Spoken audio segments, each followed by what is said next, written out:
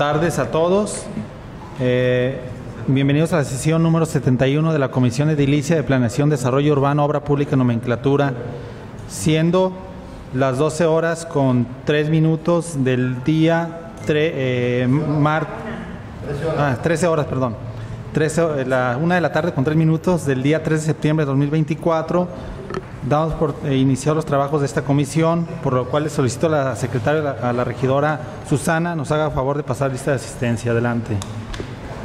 Con gusto, presidente. Punto número uno, registro de asistencia y declaración de quórum. Ah, no, perdón. Óscar Ornelas Martín, Presente. Jorge Cortés Galindo, Arturo Pérez Martínez, Karina González Pérez, Mireya Franco Barba, María Dolores Aceves González, Presente. Susana Jaime Mercado, presente. Francisco Javier Aceves Aldrete, Rosadriana Reynoso Valera, Ramón González González, Presente. Rigoberto González Gutiérrez. Presente. Somos nueve de once, por lo tanto, hay quórum legal. Muchas gracias. Existiendo quórum, se declara abierta la comisión y van los acuerdos que en ella se tomen. Se propone para regirla el siguiente orden del día. Adelante, secretario. Con permiso, punto número uno, registro de asistencia y declaración de quórum.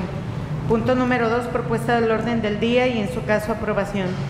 Tercero, mediante el oficio número ex 1.078 diagonal 2024, suscritos por los ciudadanos José Jesús Reyes Gutiérrez, director de Desarrollo Urbano y Obras Públicas, y Mario Alejandro Gutiérrez Báez, jefe del ramo 20 y 33, solicitan se autorice la creación del proyecto, la realización de obra, su respectiva reprogramación y transferencia con recursos del programa ramo 33 dentro del ejercicio presupuestal 2024 del Fondo de Aportaciones para la Infraestructura Social Municipal para ser ejecutado en el año 2024 por la jefatura del ramo 20 y 33, la cual se describe a continuación. 24 Faismún 09300022, rehabilitación de un tramo de camino de San José de Gracia en la localidad de Ojo de Agua de Aceves, con pavimento de carpeta asfáltica en el municipio de Tepatitlán de Morelos, Jalisco, por la cantidad de 1.380.400 pesos.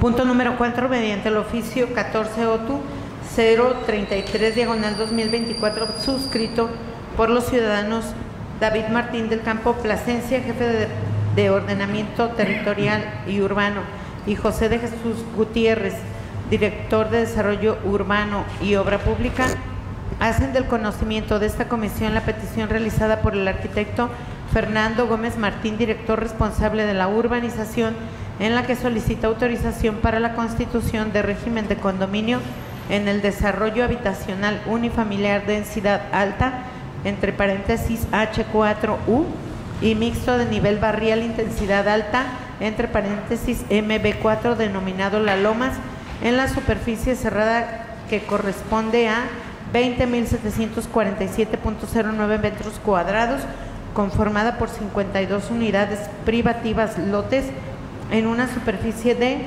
12.283.90 metros cuadrados y 11 lotes de áreas comunes que se desglosan de la siguiente forma. Una, 6.835.68 metros cuadrados de vialidades, 1.445.40 metros cuadrados de áreas verdes y 182.11 metros cuadrados de equipamiento, casetas de control. Dicho desarrollo está ubicado en el circuito licenciado Efraín González Luna, al poniente de la ciudad de Tepatitlán, propiedad de Armantina González González.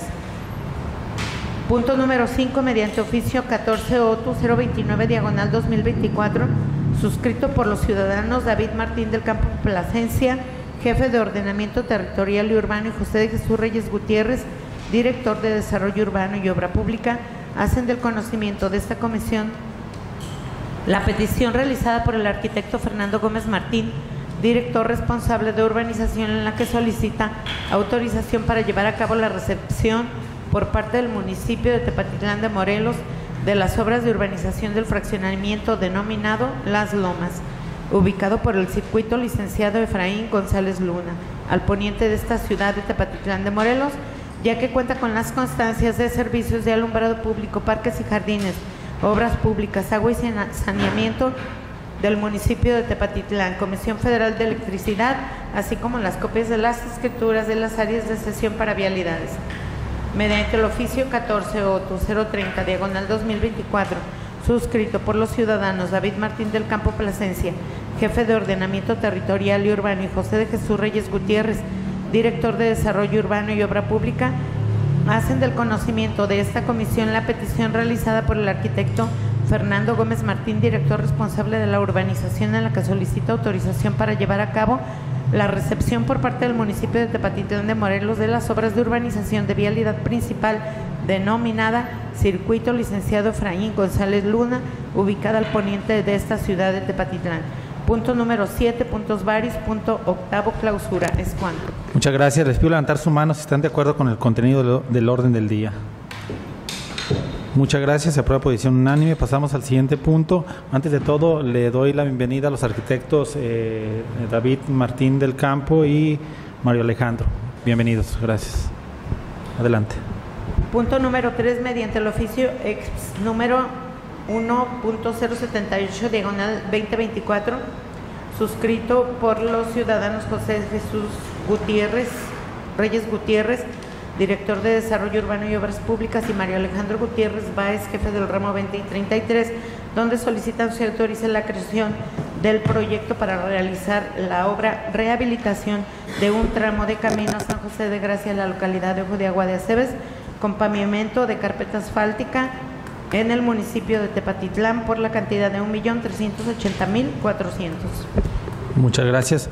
Eh, pido que levanten su mano si estén de acuerdo a darle el uso de la voz al arquitecto Mario Alejandro para que explique el punto antes citado.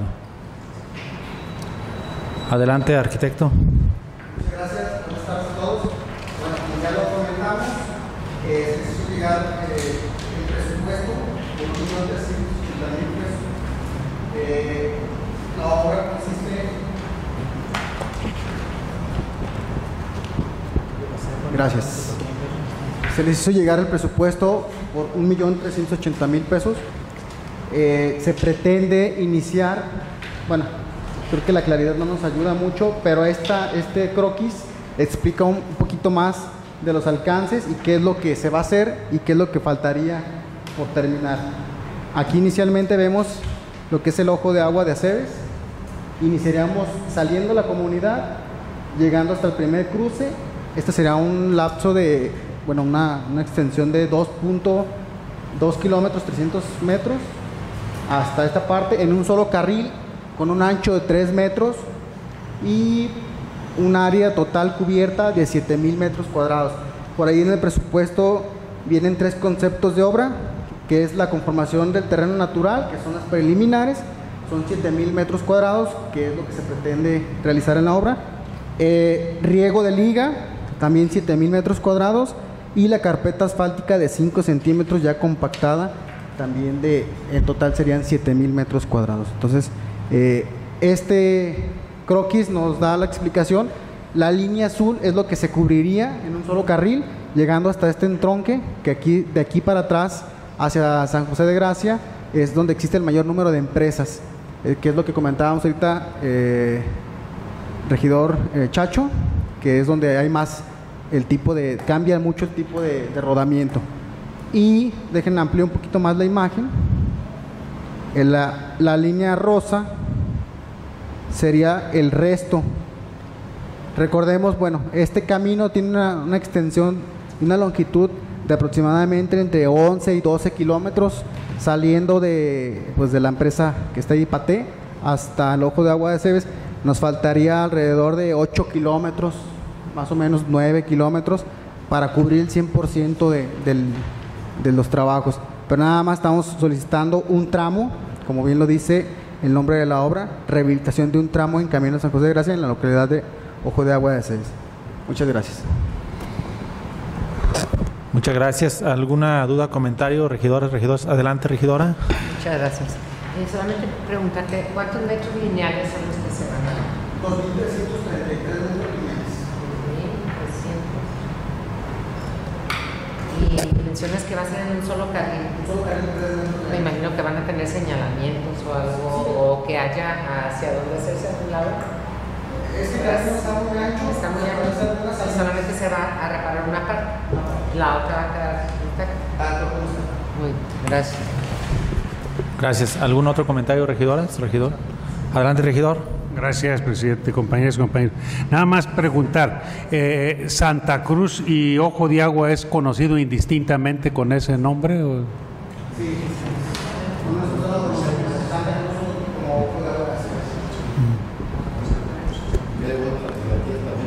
Gracias. ¿Algún otro comentario? Muchas gracias. Quien esté a favor de lo solicitado en este punto, hacerlo saber levantando su mano. Muchas gracias. Nueve. Nueve. Gracias. Pasamos al siguiente punto. Adelante, secretario.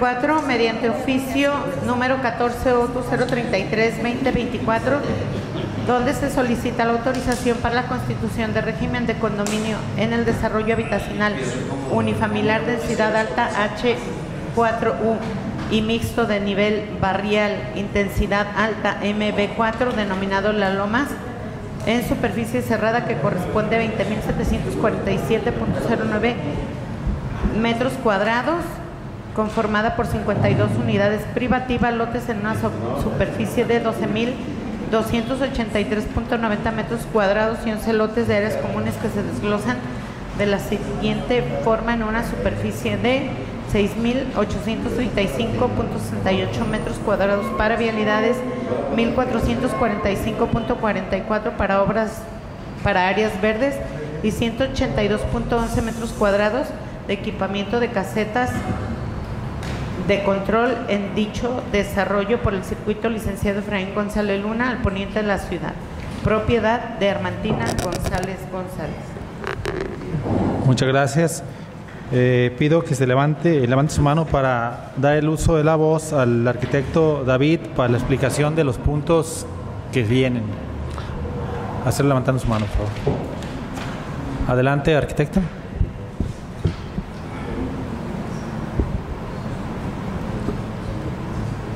Muchas gracias, regidor.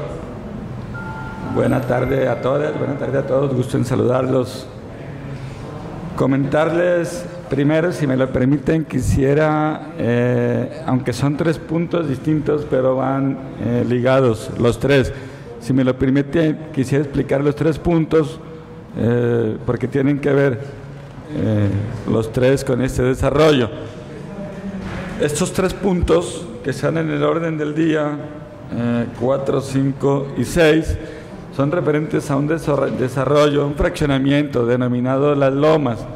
Eh, si ustedes ven la ubicación que se está proyectando, eh, en la parte, digamos, eh, inferior, como en forma diagonal, está eh, el- la avenida Carnicerito. Y está el Colegio Chapultepec Nuevo, donde está el puntero, y en la parte, eh, digamos, posterior del Colegio Chapultepec, donde está ahorita el puntero, es donde está el desarrollo. Este, está en medio de Lomas del Real y, y del eh, fraccionamiento de Jardines. eh, de la Ribera, se me olvida, perdón. Jardines de la Ribera, Lomas del Real y atrás del Colegio Chapultepec. Este desarrollo es, es un fraccionamiento, digamos, híbrido, eh, porque va a tener una parte que es cerrada, que es un coto, y tiene otra parte que es abierta. Por aquí ya se había comentado anteriormente cuando se autorizaron algunos puntos referentes a este fraccionamiento.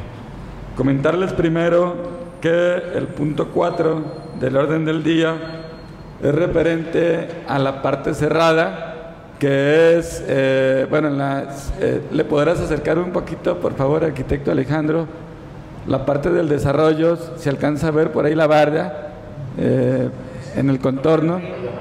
Son las vialidades, eh, donde está el puntero, esas vialidades, y se ven las casetas, las casetas de ingreso, esas que está eh, apuntando el arquitecto Alejandro. Todo lo que está cerrado se va a constituir como régimen de condominio. Aquí se aprobó en comisiones y en sesiones de ayuntamiento que las áreas de secesión tendrían que estar afuera.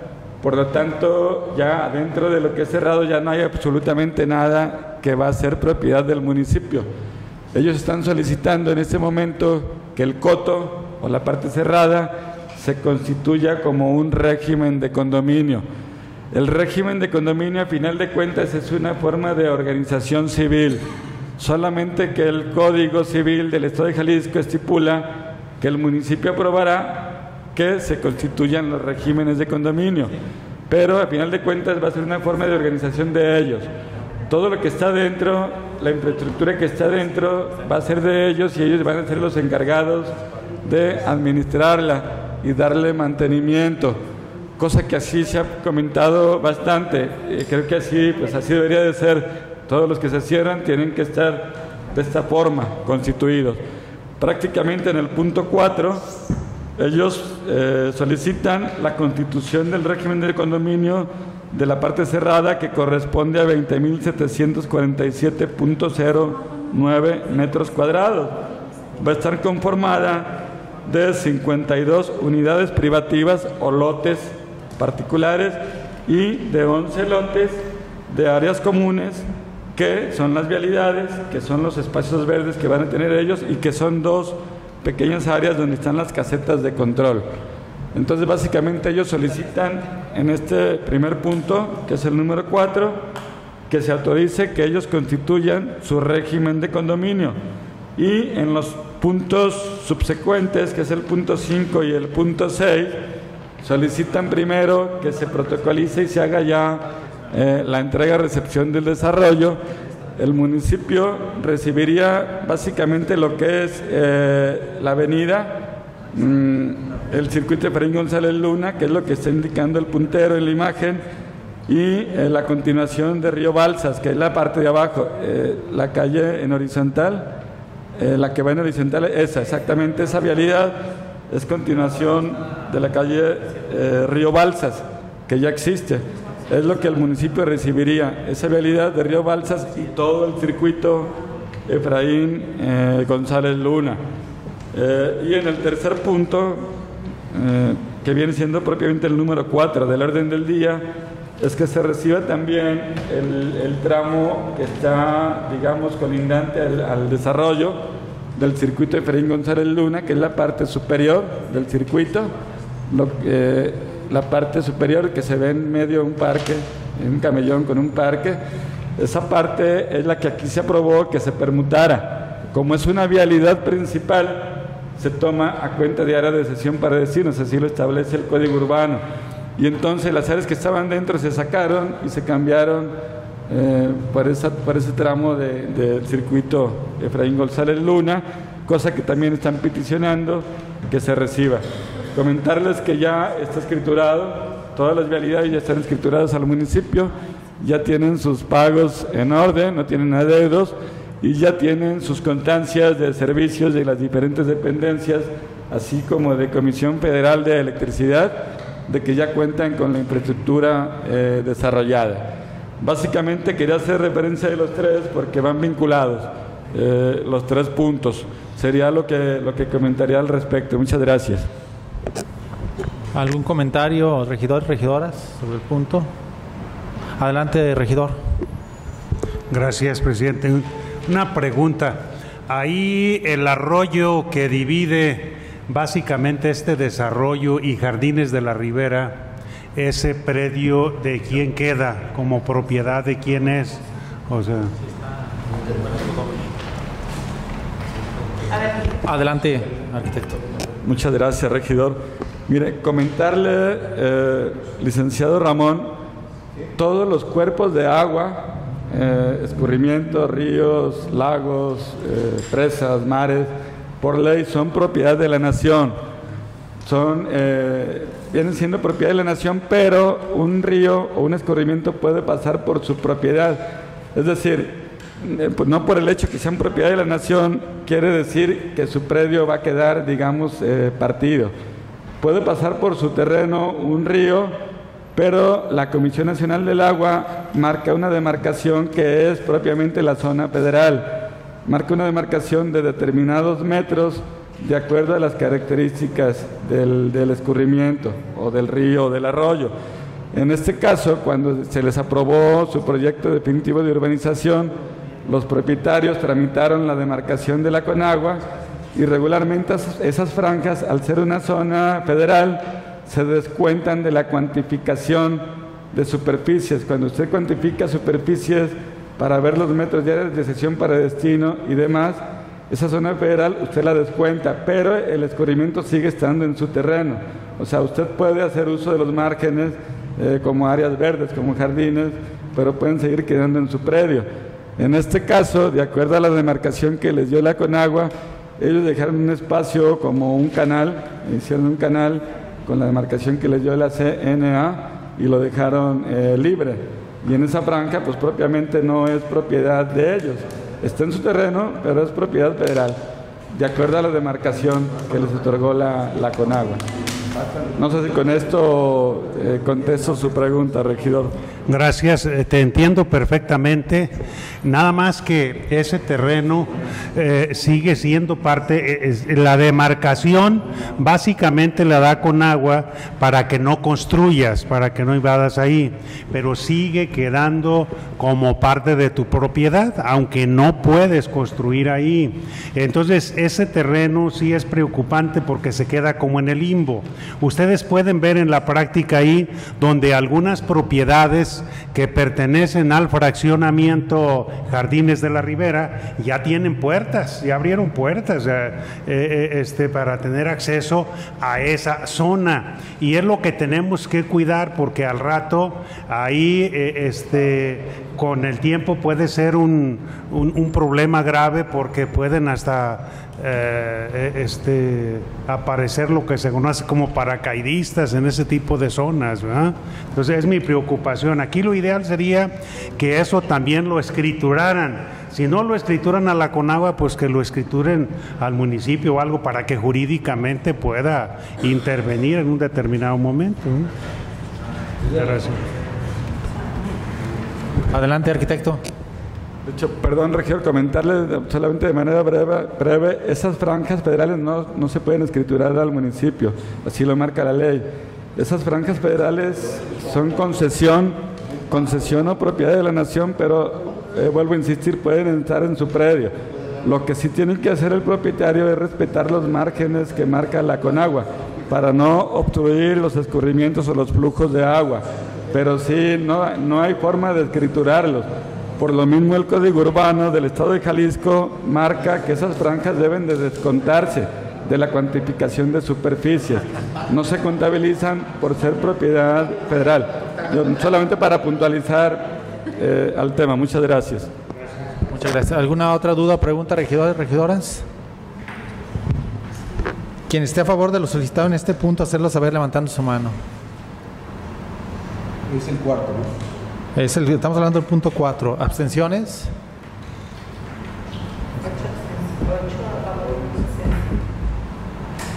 Pasamos al siguiente punto. Adelante.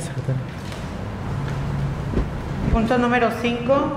Se solicita la autorización para llevar a cabo recepción de obras de parte del municipio de Tepatitlán de las obras de urbanización del fraccionamiento denominado Las Lomas, ubicado por el circuito licenciado Efraín González Luna, al poniente de esta ciudad. Es cuanto. Muchas gracias. Eh, en vista de que ya se explicó, eh, lo votamos de una vez. Quien esté a favor de lo solicitado en este punto, hacerlo saber levantando su mano. ¿Abstenciones? Muchas gracias. 8.